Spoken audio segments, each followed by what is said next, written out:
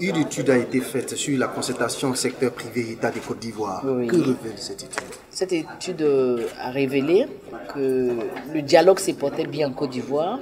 Seulement, il y avait qu'à mettre euh, les différents cadres paritaires sectoriels qui existent en coordination. Donc aujourd'hui, nous venons de voir qu'avec l'aide de la SFI, une expertise est là pour nous accompagner afin de mieux réussir cette politique de coordination de tout ce qui existe comme cadre paritaire au chevet de notre économie. Le dialogue se porte bien, cadre paritaire, tout ça. Oui. Les, les- les téléspectateurs qui sont à 150 km d'Abidjan, au fin fond de la Côte d'Ivoire, ils ne savent pas trop ce que c'est.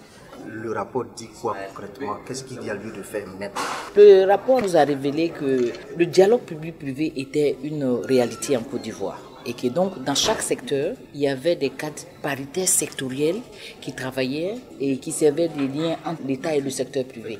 Ce que nous voulons faire pour continuer, c'est que tous les travaux de ces cadres paritaires qui ne sont pas forcément sur des acteurs euh, du secteur privé soient révélés pour que les opérateurs économiques sachent que pour chaque activité, il y a un groupe euh, qui travaille là-dessus pour trouver des solutions aux préoccupations. Quelles ont été les faiblesses? Les faiblesses, c'est qu'il n'y a pas une appropriation des acteurs privés.